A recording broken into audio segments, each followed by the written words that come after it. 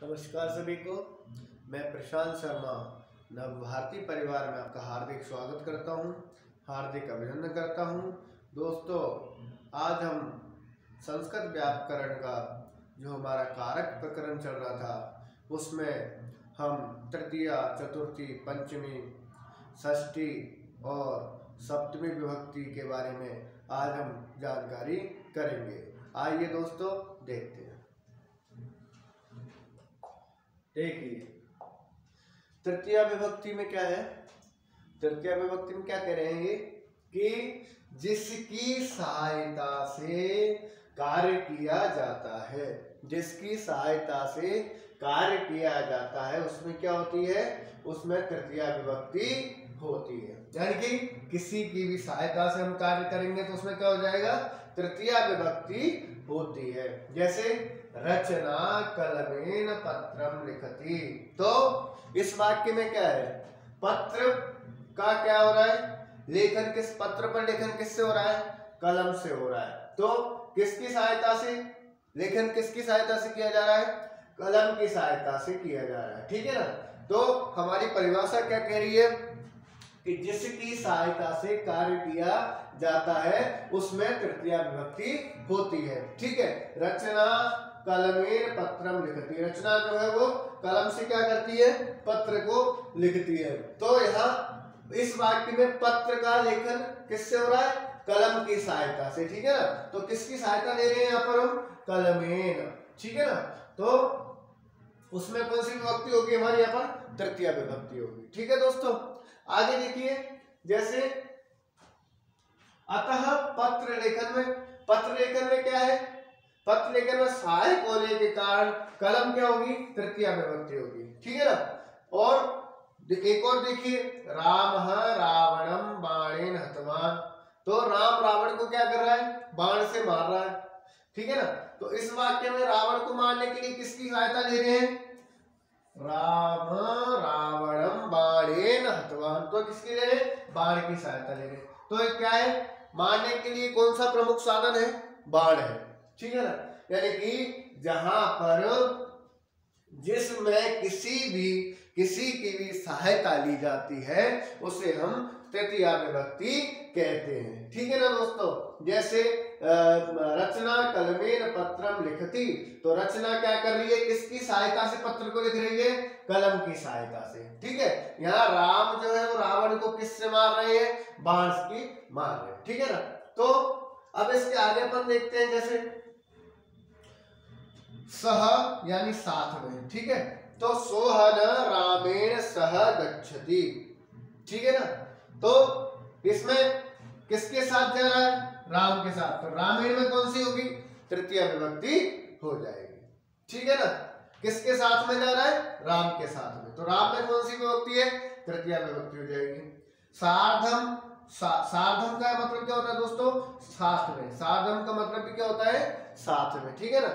तो गोपाल राम पालेन साधम गच्छति। तो इसमें क्या हो रहा है? तृतीय विभक्ति किसमें हो रही है?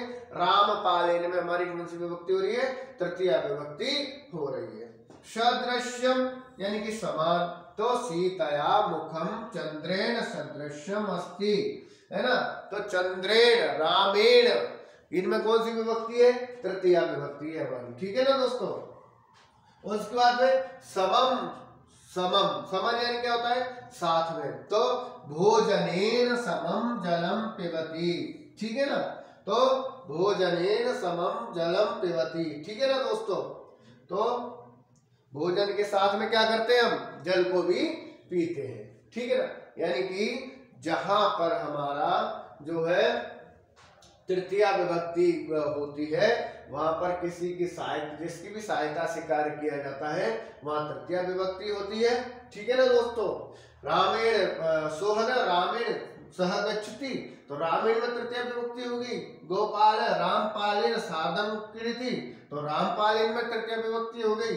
और सीतया मुखम चंद्रेण सदृशम अस्ति तो चंद्रेण में तृतीय विभक्ति हो गई और भोजनेन समम जलम पिबती तो भोजनेन समम में क्या है? तृतीय विभक्ति हमारी हो गई है। ठीक है दोस्तों, आगे और भी देखते हैं। देखिए समम समम यानी क्या होता है? समान। समम यानी समान। तो ये क्या कह रहे हैं कि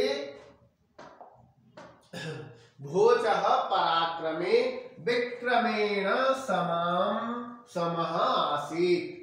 ठीक है ना? तो विक्रमेण समय में कौन सी विभक्ति होगी दोस्तों? तृतीय विभक्ति होगी हमारे यहाँ पे। अलम के, अलम यानी क्या होता है? बस। तो अलम विवादेना। ठीक है ना दोस्तों? इसके बाद देखिए, बिना। बिना का मतलब क्या होता है? बिना। तो रामेण बिना सीता दुखिता अभवत। तो रामेण बिना में भी क्या होगी? जो है, इसमें सहायता हम किसकी ले रहे हैं? तृतीय विभक्ति की। जिसकी सहायता से तृतीय विभक्ति हो जाती है, उसमें क्या है? तृतीय विभक्ति हम कर देते हैं, ठीक है ना?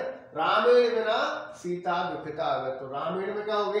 तृतीय विभक्ति हमारी यहाँ पर हो गई जैसे और भी देखते हैं, जिस अंग में, जिस अंग में कोई विकार प्रदर्शित करना हो, उस अंगवाची शब्द में तृतीय विभक्ति होती है। यानी कि क्या कह रहा है कि जिस अंग में कोई विकार प्रदर्शित करना हो तो उससे को क्या कहते हैं हम? अंगवाची शब्द कहते हैं। ठीक है ना दोस्तों? जैसे, देवदत्त नेत्रेण काण अस्ति। तो इसमें क्या हो रहा है दोस्तों? नेत्रेण काण, नेत्र से क्या है वो? काणा है। तो इसमें क्या हो रहा है? कोई विकार मतलब प्रदर्शित। इसमें क्या हो रहा है? नेत्र में क्या हो रहा है? काण विकार को प्रदर्शित कर रहा है। तो इसमें भी क्या हो जाएगा? हम अंगवाची शब्द नहीं ठीक है ना? देवरत नित्रेण काण अस्थि तो इसमें भी क्या हो जाएगी? हमारी तृतीय विभक्ति हो जाएगी। ठीक है ना? तो पादेन खंज अस्थि ठीक है ना? तो घोड़े के पाद में क्या है? खंज है। ठीक है ना? तो इसमें भी हमारी क्या हो जाएगी? पादेन, नेत्रेण, रामेण। है ना? इसमें हमारी क्या हो जाएगी? तृतीय विभक्ति हो जाएगी। ठीक है ना? उसके बाद में अगला नियम क्या है? फल प्राप्ति या कार्य की पूर्णता के अर्थ में समय की निरंतरता का बोध कराने के वाले शब्दों में क्या होती है? तृतीय विभक्ति होती है। यहाँ पर क्या कह रहा था? अंग में कोई विकार प्रदर्शित करना हो, उसमें उसमें अंगवाची शब्द में भी क्या होगी? तृतीय विभक्ति हो जाएगी। ठीक है ना? यहाँ पर फल प्राप्ति या कार्य की पूर्णता के अर्थ में कौन सी विभक्ति हो जाएगी? कार्य की पूर्णता के अर्थ में कौन सी विभक्ति हो जाएगी?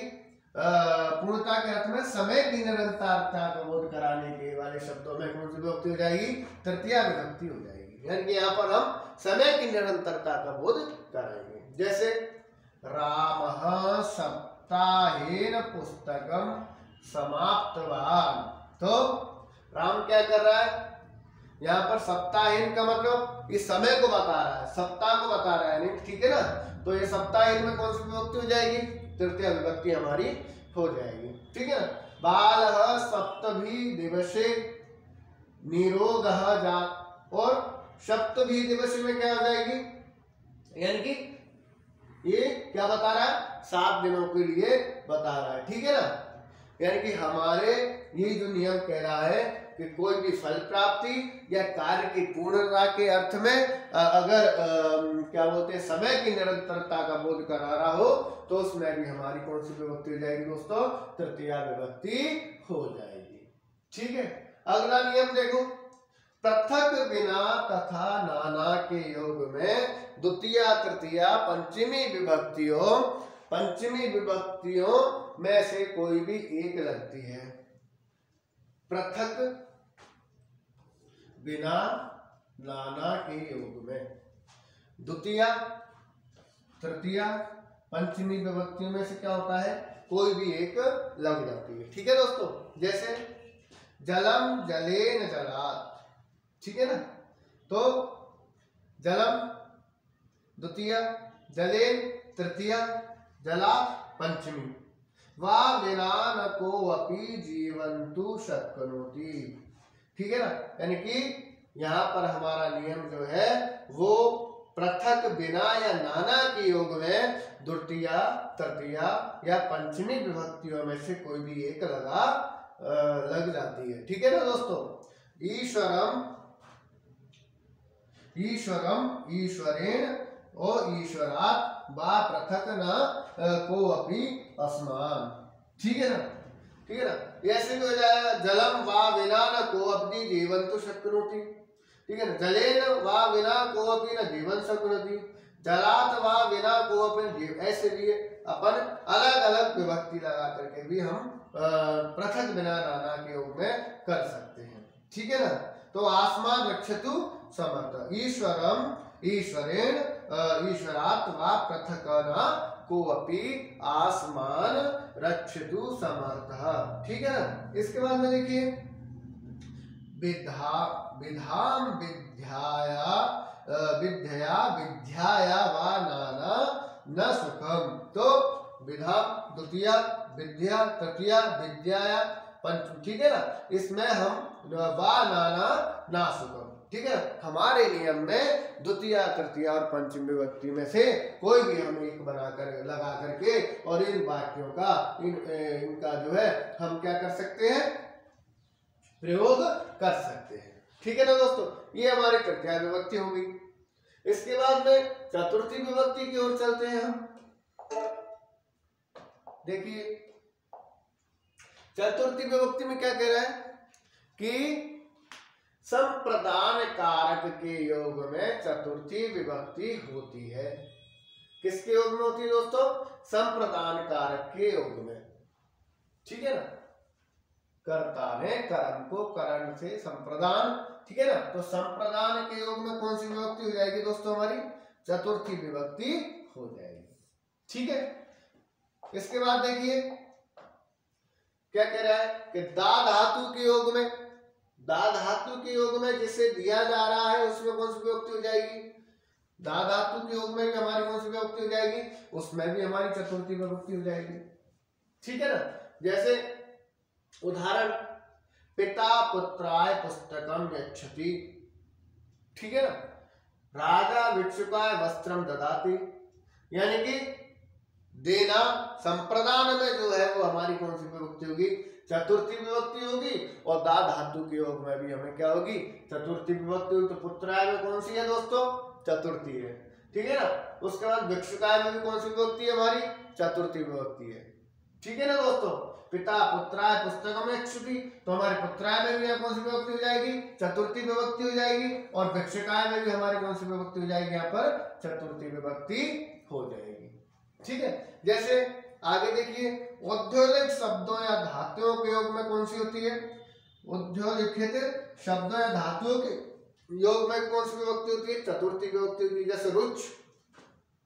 रुच यानी अच्छा लगना, ठीक है? तो बालकाय मोदकम रोचते, बालकाय मोदकम रोचते। बालक को क्या अच्छा लगता है? मोदक अच्छे लगते हैं। तो रोचते में भी क्या होगी? चतुर्थी विभक्ति हो जाएगी। रुच में भी क्या हो जाएगी हमारी? चतुर्थ तो बालकाय में क्या है? चतुर्थी विभक्ति, ठीक है ना? तो इस उदाहरण में क्या है? मोदकम रोचते तो इसमें हमारी कौन सी विभक्ति हो जाएगी? चतुर्थी विभक्ति हो जाएगी। क्रोध, यानी क्रोध करना तो स्वामी सेवकाय क्रोधंती। तो सेवकाय में कौन सी विभक्ति हो जाएगी? चतुर्थी विभक्ति हमारी हो जाएगी। ठीक है ना दोस्तों? यानी कि हमें ये जो कुछ धातु और शब्द है इनके योग में भी हमें क्या करना है? चतुर्थी विभक्ति करना है। ठीक है दोस्तों?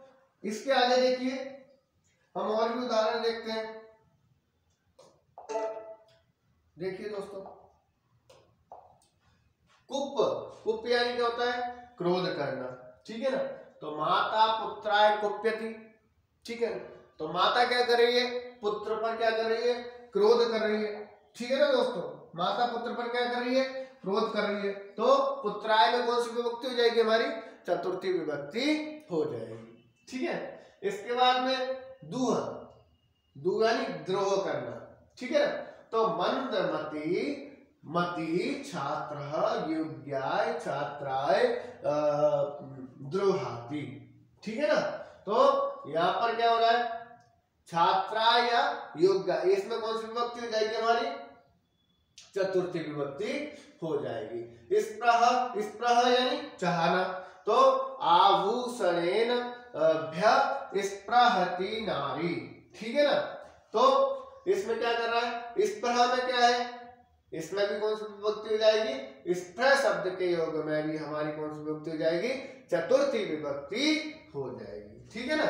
इसके बाद में देखिए, ईश्र ईश्र यानी ईर्षा करना। तो द्रोधन अर्जुन अर्जुनाय ईश्वती ठीक है ना? तो दुर्योधन किसकी ईर्षा चल रहा है? अर्जुन की। ठीक है ना? इसके बाद में देखिए। असूय निंदा। असूय असूय कि मतलब क्या होता है दोस्तों? निंदा करना। तो धनहीन, धनिकाय असूयति। तो हमारे असूय में भी कौन सी विभक्ति असूय शब्द के योग में भी कौन सी विभक्ति हो जाएगी? आ, मतलब चतुर्थी विभक्ति को हम करेंगे। ठीक है दोस्तों आगे देखिए। नमः। नमः यानी नमस्कार करना। तो गुरुवे नमः। तो नमः के योग में कौन सी विभक्ति होगी दोस्तों? चतुर्थी विभक्ति हो जाएगी हमारी। ठीक है ना? तो स्वस्थ यानी कल्याण हो। तो स्वस्ति प्राणीभ्य। ठीक है ना? यानी कि सभी जो प्राणी हैं, उनका क्या हो? कल्याण हो। स्वधा। स्वधा यानी क्या होता है? पितरों को पितरों को जल देना। तो पितृभ्य स्वधा। ठीक है ना दोस्तों? इसके बाद में स्वाहा। स्वाहा यानी समर्पित करना। तो अग्नेय स्वाहा, यानी कि किसी को हम क्या कर रहे हैं? कोई चीज़ समर्पित कर रहे हैं। तो स्वाहा शब्द के अर्थ में क्या होगी? हमारी जो है चतुर्थी विभक्ति हो जाएगी। नी विदह। तो नी विदह मतलब क्या है? नी प्लस विदह निवेदन करना। सह गुरुवे निवेदयति। ठीक है ना? इसमें क्या कह रहा है? कि किससे इसमें भी क्या निवेदन करने में भी कौन सी विभक्ति हो जाएगी? चतुर्थी विभक्ति हमारी हो जाएगी। ठीक है दोस्तों? देखो कुप यानी क्रोध करने में भी, माता क्या कर रही है? पुत्र पर क्रोध कर रही है। तो इसमें भी क्या होगी? चतुर्थी विभक्ति हो जाएगी। ध्रुव में भी क्या हो जाएगी? चतुर्थी विभक्ति हो जाएगी। मंदमती छात्र योग्य छात्राय द्रोहती तो इसमें भी कौन सी विभक्ति हो जाएगी? चतुर्थी विभक्ति हो जाएगी। इस पर यानी चाहना आभूषण प्रति, यानी कि इसमें भी कौन सी विभक्ति हो जाएगी दोस्तों? चतुर्थी विभक्ति हमारी हो जाएगी। इस समय भी हमारी ईर्षा किसकी कर रहा है? दुर्योधन अर्जुन की ईर्षा कर रहा है। तो इसमें भी हमारी कौन सी विभक्ति हो जाएगी? चतुर्थी विभक्ति को हम करेंगे। अशु यानी निंदा करना। निंदा करने धनहीन, धनिकाय अशु तो इसमें भी हमारी कौन सी विभक्ति हो जाएगी? चतुर्थी विभक्ति हो जाएगी। और नमः यानी नमस्कार करना। तो गुरुवे नमः। तो इसमें भी हमारी चतुर्थी विभक्ति दोस्तों हो जाएगी। ठीक है? इसके बाद देखिए, स्वस्ति यानी कल्याण हो। तो स्वस्ति में भी हमारी प्राणियों का क्या हो? कल्याण हो। इसमें भी हमारी चतुर्थी विभक्ति हो जाएगी। स्वधा शब्द है, जो पितरों को जल देना है। इसमें पितृव्य स्वाहा। इसमें भी क्या हो जाएगी? चतुर्थी विभक्ति हो जाएगी। और स्वाहा यानी समर्पित। तो अग्नि स्वाहा, इसमें भी क्या हो जाएगी हमारी? चतुर्थी विभक्ति हो जाएगी। नी प्लस निवेदन करना। तो स गुरुवे निवेदती तो इसमें क्या हो जाएगी हमारे दोस्तों? चतुर्थी विभक्ति हो जाएगी। ठीक है ना दोस्तों? इसके आगे हम चलते हैं पंचमी विभक्ति की ओर। पंचमी विभक्ति में क्या कह रहा है? कि अपादान कारक में भी क्या होता है? पंचमी विभक्ति होती है। चतुर्थी में कौन सा हो रहा था? संप्रदान हो रहा था। यहाँ कौन सा हो रहा है? अपादान कारक में कौन सी विभक्ति होगी हमारी? पंचमी विभक्ति हो जाएगी। ठीक है? जैसे नियम पूर्वक पढ़ा जाए, उसमें कौन सी विभक्ति होगी? पंचमी विभक्ति हो जाएगी। नियम पूर्वक जिस चीज़ को हम पढ़ेंगे, उसमें हमारी पंचमी विभक्ति हो जाएगी। ठीक है दोस्तों? आगे देखिए, जैसे अहम गुरु संस्कृतम पठानी तो हमें क्या कर रहे हैं? गुरु क्या कर रहे हैं? संस्कृत को पढ़ा रहे हैं। ठीक है ना? इसके बाद में देखिए जहाँ से कोई वस्तु उत्पन्न होती है, उसमें भी पंचमी विभक्ति होगी। पहला है, अपादान कारक में भी पंचमी विभक्ति होगी। दूसरा नियम क्या कह रहा है? नियम पूर्वक पढ़ाया जाए तो यहाँ पर गुरु क्या कर रहा है? संस्कृत को नियम पूर्वक पढ़ा रहा है। ठीक है, तीसरे में जहाँ से कोई वस्तु उत्पन्न होती है है ना? जहाँ से कोई भी वस्तु उत्पन्न हो जाती है, उसमें भी हमारी कौन सी विभक्ति होगी? पंचमी विभक्ति हो जाएगी। ठीक है ना? जैसे गंगा हिमालया प्रभवती। ठीक है ना? तो गंगा कहाँ से निकल रही है? हिमालय से। तो हिमालयात में कौन सी है? इसमें हमारी कौन सी विभक्ति है दोस्तों? पंचमी विभक्ति है। ठीक है ना? यानी कि कोई चीज़, जहाँ से कोई वस्तु उत्पन्न हो रही हो, उसमें कौन सी विभक्ति है? तो कहाँ से हो रही गंगा उत्पन्न? हिमालय से हो रही है। ठीक है ना? इसके बाद में बीजात जायते वृक्ष। तो वृक्ष किससे उत्पन्न हो रहा है? बीज से। तो बीजात में हमारी कौन सी विभक्ति होगी दोस्तों? पंचमी विभक्ति हो गई। यानी कि जिससे हम उत्पन्न कर रहे हैं, उसमें भी हमारी कौन सी विभक्ति हो जाएगी? पंचमी विभक्ति का हम प्रयोग करेंगे। ठीक है दोस्तों, आगे देखिए। जहाँ से कोई व्यक्ति या वस्तु अलग होती हो ठीक है? यहाँ क्या कह रहा है? जहाँ से कोई वस्तु उत्पन्न होती हो, उसमें पंचमी विभक्ति होगी, है ना? और यहाँ कह रहा है, जहाँ से अगला नियम जो है, वो कह रहा है कि जहाँ से कोई व्यक्ति या वस्तु अलग होती हो, उसमें कौन सी विभक्ति होगी? पंचमी विभक्ति हो जाएगी। जैसे मोहन विद्यालयात आगच्छति। ठीक है ना? तो मोहन क्या कर रहा है? विद्यालय से अलग हो रहा है ना? तो इसमें विद्यालय में कौन सी विभक्ति हो गई?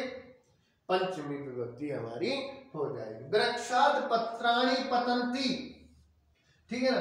तो वृक्षों से क्या है? जो क्या अलग हो रहे हैं? पत्ते अलग हो रहे हैं। ठीक है ना? तो वृक्षात पत्राणी पतती तो हमारे वृक्षात में कौन सी विभक्ति हो जाएगी? पंचमी विभक्ति हो जाएगी। ठीक है ना? यहाँ पर मोहन क्या हो रहा है? विद्यालय से आ रहा है, अलग हो रहा है, ठीक है ना? इसके बाद में देखिए भी त्रा तथा त्रस धातुओं के योग में वे मैं भय हेतु में भी क्या होगी? पंचमी विभक्ति होगी। वी त्रा तथा त्रस धातुओं में भी भय के योग में कौन सी विभक्ति हो जाएगी दोस्तों? पंचमी विभक्ति हम करेंगे। राम पापात विभेति ठीक है? राम क्या करते हैं? पाप से क्या करते हैं? डरते हैं। तो पापात में हमारी कौन सी विभक्ति है दोस्तों? पंचमी विभक्ति ठीक है ना? अब इसके आगे हम देखते हैं।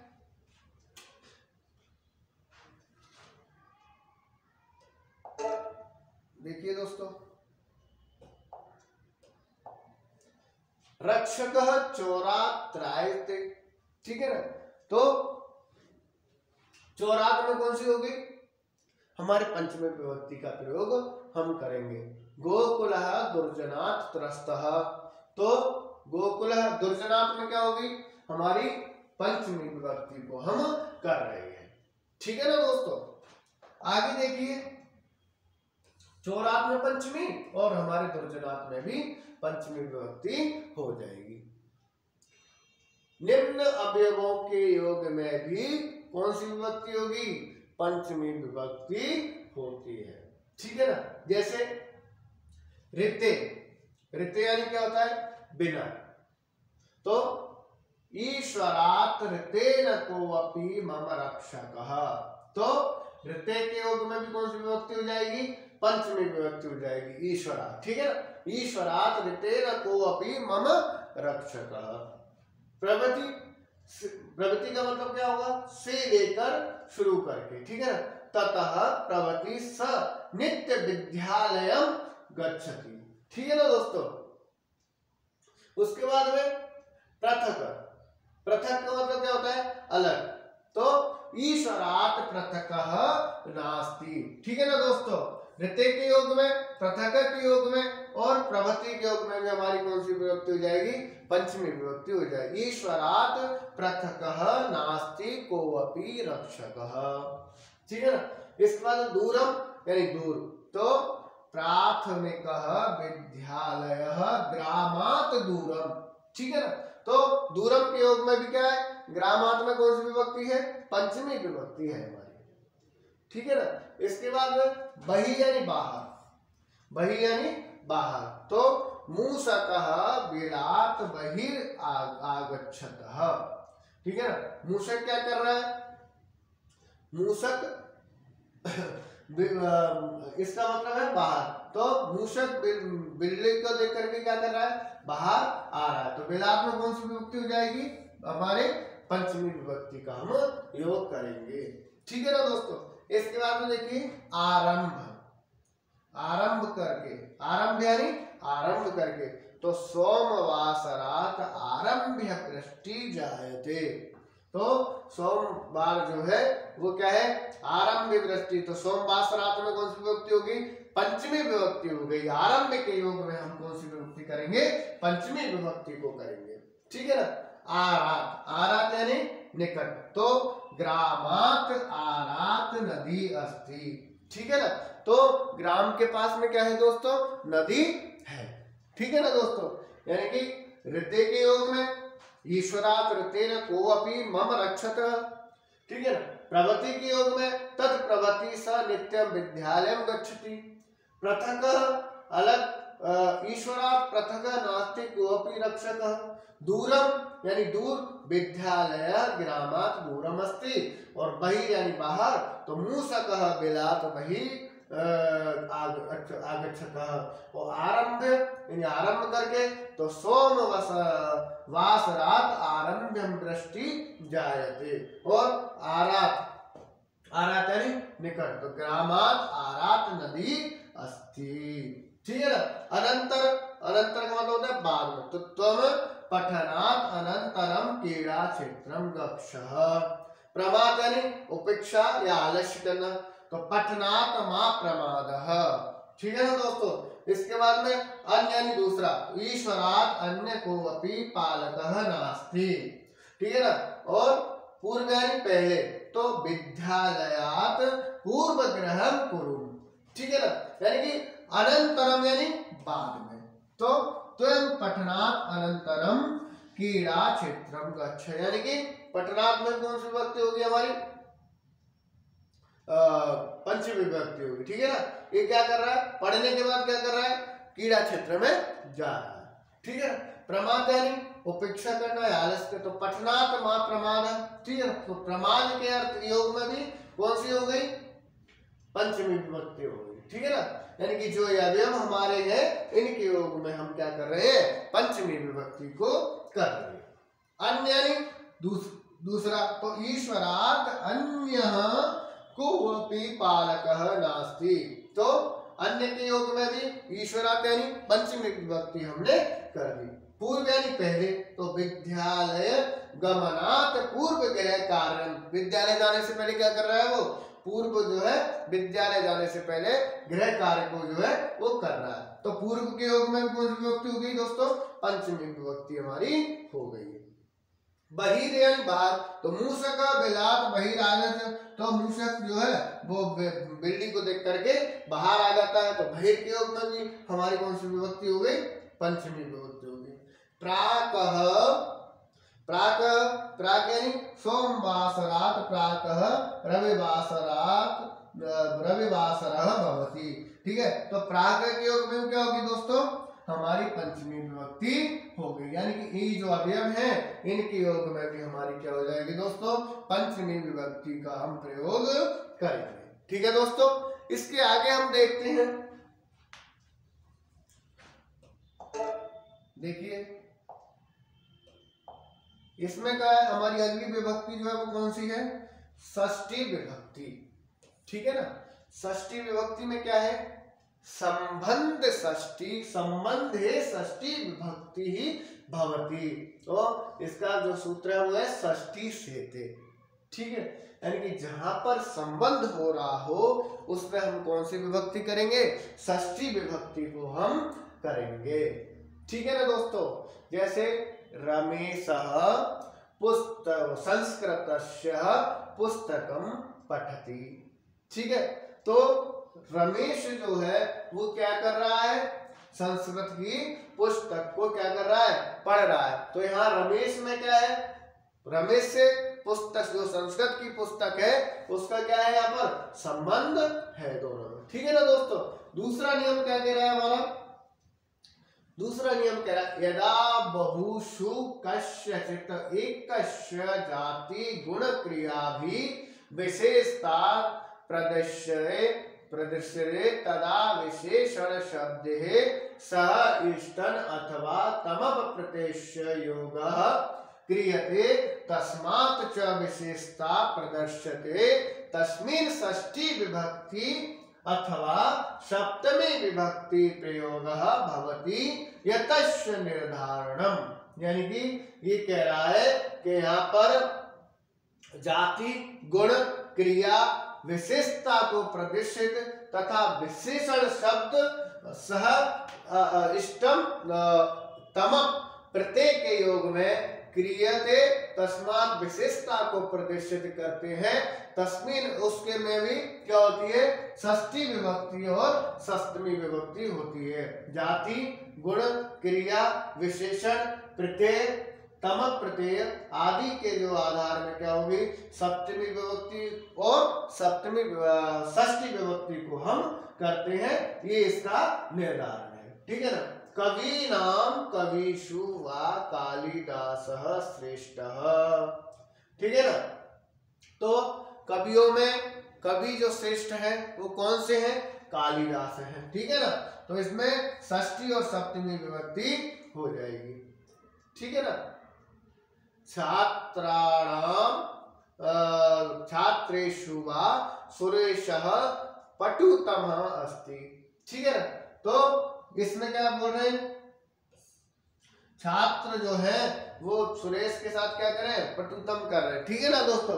तो हमारे इसमें भी क्या हो जाएगी? षष्ठी विभक्ति को हम कर रहे सप्तमी और सप्तमी दोनों ही हो जाएगी। ठीक है ना?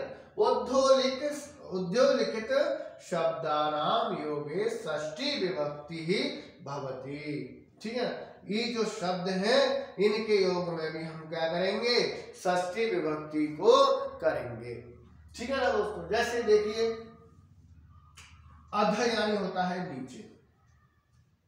ठीक है? और इसका क्या है? वृक्ष अध बालक सेते। तो अधा के योग में हम कौन सी करेंगे? षष्ठी विभक्ति करें। वृक्ष ठीक है ना? इसके बाद में ऊपर यानी ऊपर। तो भवनस्य ऊपरी खगा संति। तो भवन के ऊपर क्या है?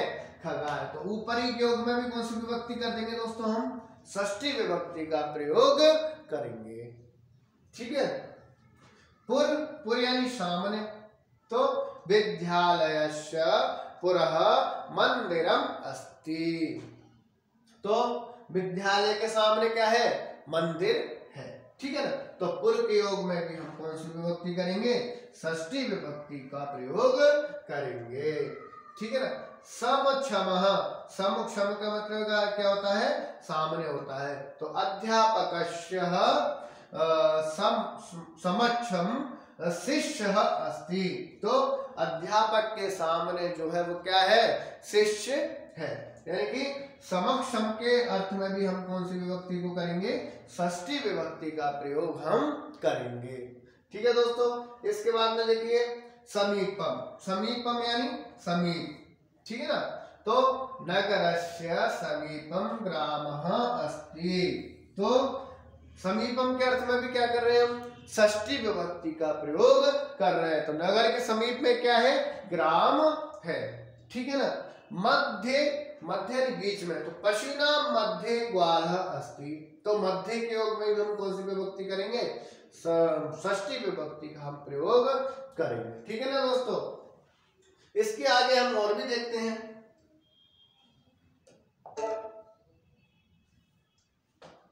देखिए। कृत्य कृत्य यानी के लिए। बालकस्य कृत्य दुग्धम आनाय, ठीक है ना? तो इसमें कृत्य के योग में कौन सी विभक्ति करेंगे दोस्तों हम? कृत्य के योग में भी हम षष्ठी विभक्ति का प्रयोग करेंगे, ठीक है? अंत अंत यानी अंदर, ठीक है ना? तो गृहस्य, अंत माता विद्यते, यानी अंत के योग में भी कौन सी विभक्ति करेंगे हम? षष्ठी विभक्ति का प्रयोग करेंगे। ठीक है ना? ऊपर, नीचे, सामने, पास में, बीच में, के लिए, अंदर, बाहर इत्यादि के योग में हम कौन सी विभक्ति का प्रयोग करेंगे? षष्टी विभक्ति का प्रयोग करेंगे। ठीक है ना दोस्तों? इसके बाद हम देख आगे देखिए कौन जो हमारा नियम है। तुल्यवास्ती शब्दानाम योगे षष्टी अथवा तृतीया विभक्ति भवती। यानी कि तुल्यवाची जो शब्द है, तुल्यार्थे तुलो माध्यम तृतीया अनंतरम ठीक है ना? तो तुल्यवाची जो शब्द है, उसमें षष्टी अथवा तृतीया विभक्ति का भी हम प्रयोग करते हैं। ठीक है दोस्तों, देखिए। सुरेश महेश महेशेन व तुल्य ठीक है ना? तो सुरेश महेश ठीक है? ष्टी विभक्ति महेश व तुल्य अस्थि ठीक है ना? तो सुरेश जो है, वो महेश क्या कर रहे हैं यहाँ पर? तुलना कर रहे हैं। ठीक है? सीतया गीतया व तुल्या विद्यते। ठीक है ना? सीता गीता की क्या है? तुल्य है। तो तुल्यवाची के अर्थ में हम तृतीय विभक्ति या षष्टी विभक्ति का भी प्रयोग हम करते हैं। ठीक है दोस्तों, अब हम आगे की ओर देखते हैं।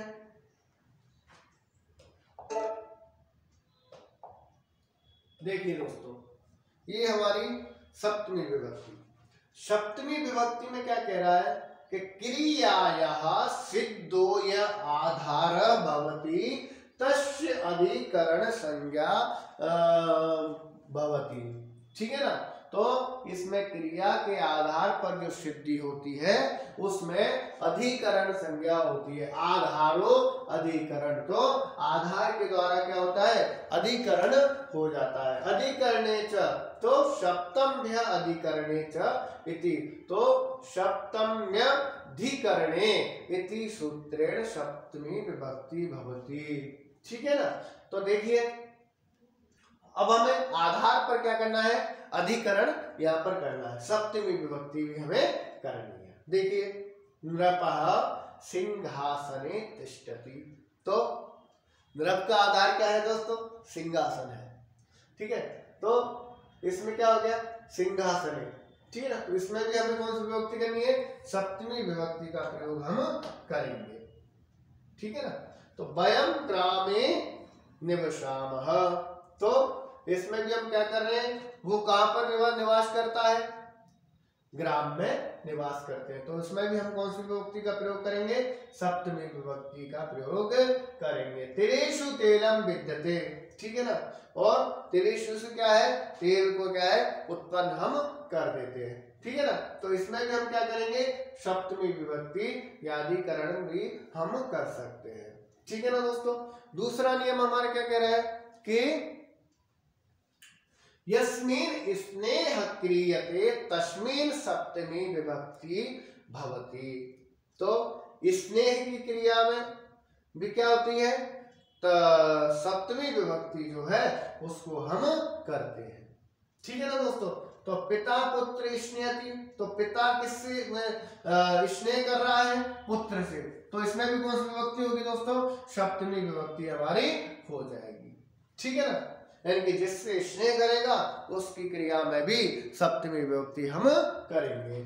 ठीक है ना? इसमें क्या कह रहा है? कि जिस पे मतलब अधिकार किया है, उसमें भी हम क्या करेंगे? जो उसको जो आधार माना है, जैसे राजा सिंहासन को आधार पे जो है, वो बैठा हुआ है और लोग जो है, वो ग्राम में बस बसे हुए हैं, उसमें भी हम सप्तमी विभक्ति का प्रयोग करेंगे। ठीक है ना?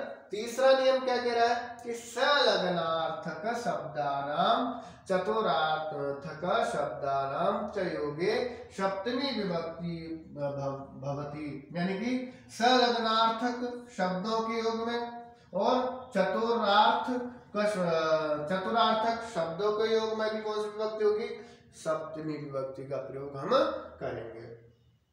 बलदेव बलदेव स्वीकार्य संलग्न अस्ति। तो क्या कर रहा है? संलग्न के अर्थ में भी क्या कर रहे हैं हम? सप्तमी विभक्ति का प्रयोग कर रहे हैं। जय देव संस्कृति चतुर अस्ति। तो इसमें भी हम कौन सी विभक्ति का प्रयोग कर रहे हैं? सप्तमी विभक्ति का प्रयोग कर रहे हैं। ठीक है ना? यानी कि इसमें चतुर्था चतुर्थार्थ के अर्थ में क्या करेंगे हम? सप्तमी विभक्ति के संलग्न के अर्थ में भी क्या करेंगे हम?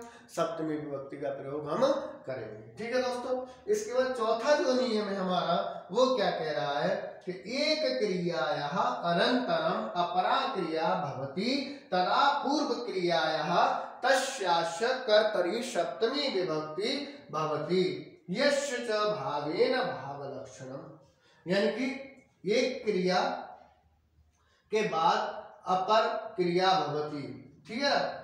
तथा पूर्व क्रियाया तस्य कर्तरी और पूर्व क्रिया को करने से कौन सी विभक्ति होगी? सप्तमी विभक्ति हो जाएगी। जैसे रामे बनम गते दशरथ प्राणात अतिजत तो यहाँ पर क्या कर रहे राम वन में गए थे तो दशरथ जी ने क्या किया?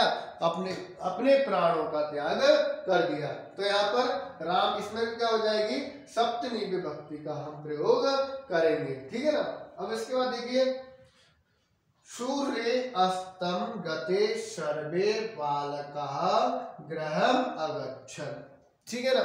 तो क्या कह रहा है? सूर्य सूर्य अस्त के बाद सभी सभी जो बालक जो है, वो क्या क्या कर रहे हैं? अपने घर के लिए चल दिए हैं। ठीक है ना दोस्तों? यानी कि हमारे क्रिया के आधार पर होने में, जो अधिकरण में जो है, वो आधार के आधार पर भी क्या करेंगे? सप्तमी विभक्ति का हम प्रयोग करेंगे और स्नेह इत्यादि में भी क्या करेंगे हम? सप्तमी विभक्ति का प्रयोग करेंगे और इसके बाद में सलग्नार्थ शब्दों के और चतुर्थार्थ शब्दों के योग में भी हम क्या करेंगे दोस्तों? सप्तमी विभक्ति का प्रयोग हम करेंगे और चौथा नियम कह रहा है, एक क्रिया के अनंतर में अपरा क्रिया भवती तथा पूर्व क्रिया या तस्य कर्तरी, उसमें भी हम क्या करेंगे? सप्तमी विभक्ति का हम प्रयोग करेंगे। ठीक है दोस्तों, यहाँ पर हमारी जो कारक की कक्षा है, वो समापन होती है। अगली कक्षा में हम अगले टॉपिक के साथ आपसे मुलाकात करते हैं। आज के लिए इतना ही। धन्यवाद दोस्तों।